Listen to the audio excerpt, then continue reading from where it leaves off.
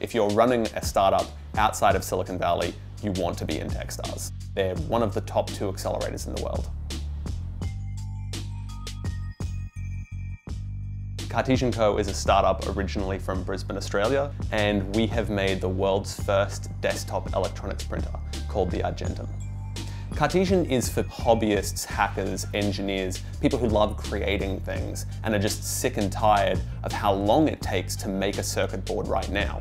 There are lots of people at home that want to make a piece of electronics, whether it be a guitar effects pedal, a little blinking LED circuit, a clap activated lamp for their bedside table, but they don't go through the process because it's very costly, it's not very um, fast, and it's quite dangerous to work with some of the chemicals if you want to do it yourself.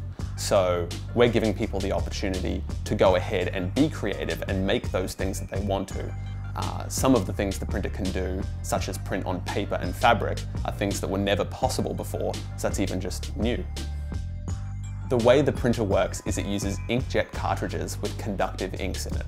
There's two cartridges, one has ascorbic acid, which is just vitamin C, and the other one has silver nitrate in it, which was used in developing photographs, analog photographs for decades.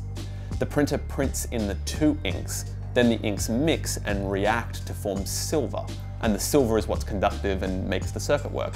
At demo day, I'm hoping that my presentation will go over uh, as a big success and that a lot of the investors in the audience will come and talk to me afterwards because we've just opened our investment round.